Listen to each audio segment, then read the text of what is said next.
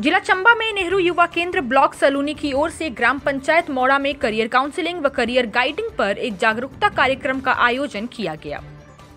इस मौके पर world constitution of parliament association के डायरेक्टर प्रोफेसर ज्योतिर्मय गोस्वामी मुख्य अतिथि के रूप में उपस्थित रहे। इस मौके पर उपस्थित लोगों ने पंचायत को बेरोजगार मुक्त बनाने व पंचायत में रोज़गार के अवसर खोजने पर विस्तार से चर्चा की। प्रोफेसर गोस्वामी ने बताया कि वो अपनी रिसर्च करेंगे और उसको व्यवहारिक रूप देंगे। और साथ ही उनका सपना है कि दो साल में पंचायत बेरोजगार मुक्त करना और उसे दो साल से पहले हासिल करेंगे। जिसके लिए पंचायत की समय कार्यकारिणी द्वारा मुख्य अतिथि का धन्यवाद किया गया और समस्त लोगों ने सहयोग की भावना जताई।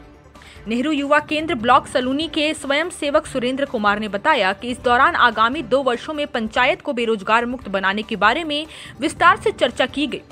इस मौके पर ग्राम पंचायत मौड़ा के प्रधान अशोक सूर्यांश उप प्रधान व्यास देव, विकास सांस्कृतिक दल के अध्यक्ष दर्शन शर्मा, महबूब खान, रविंद्र कुमार, तिलक राज, सुनील कुमार सहित कई लोग उपस्थित रहे।